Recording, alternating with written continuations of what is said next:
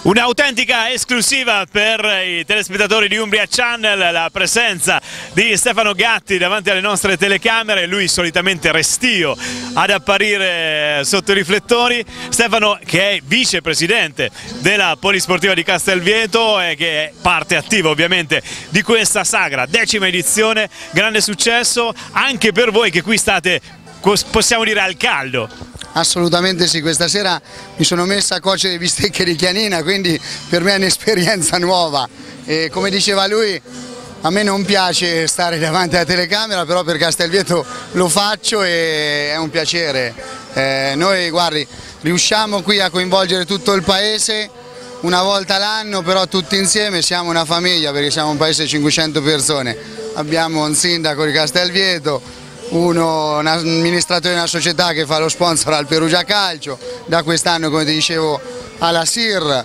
e lo faccio anche alla festa, quindi per me è un grosso piacere e una soddisfazione vedere tutti questi ragazzi giovani o meno giovani che si collabora e è un piacere veramente. Stare qui tutti insieme sviluppa davvero un senso di appartenenza, di amore, di passione per il proprio paese. Sì, si rivivono le, le usanze di una volta e veramente ti fa sentire le cose importanti della vita che durante la settimana o i mesi col lavoro purtroppo vanno persi.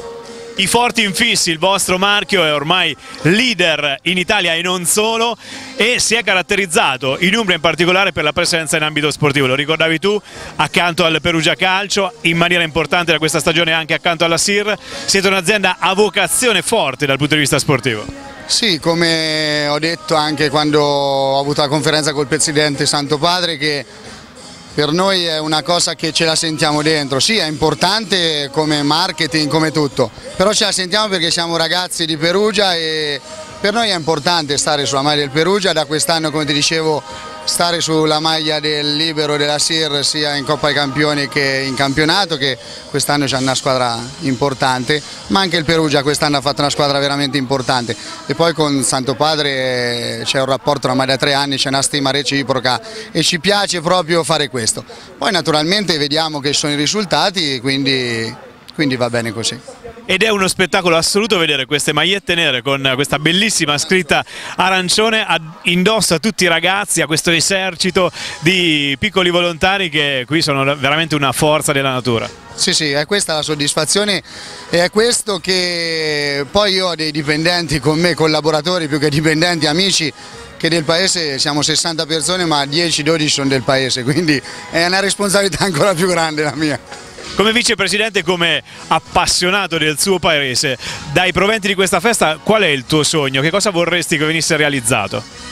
Guarda, noi siamo su un ex campo sportivo, no? Ci piacerebbe che questo campo, come già abbiamo messo in piedi con Walter e Cristian, un'idea di darlo lì alla um, Wispo, questi qui che fanno i campionati, di farlo in erba e poi che almeno la gente giri, è frequentata perché come ti dicevo il paese è piccolo, l'unico punto di ritrovo è la bocciofila che però hai visto lo sport della bocce, io pratico anche le bocce, so un po' scarso però lo pratico, è importante di creare del convivio, poi c'è il bar, per sfruttare ancora di più il paese perché a questo paese non so perché, non so però la gente ci viene contenta e si trova bene, perché forse siamo delle persone umili, a parte uno il lavoro, il ruolo che svolgo meno, però restiamo sempre, ne vedi, delle persone semplici e, e oneste. Bravi, complimenti. Grazie, grazie, buona serata.